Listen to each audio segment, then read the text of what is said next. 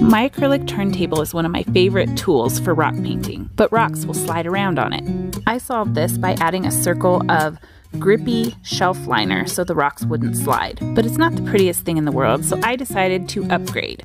I got this set of seven brightly colored silicone dish scrubbers. I cut the loops off the sides and added them to my acrylic turntable, and voila! I have a nice, bright, non-stick surface.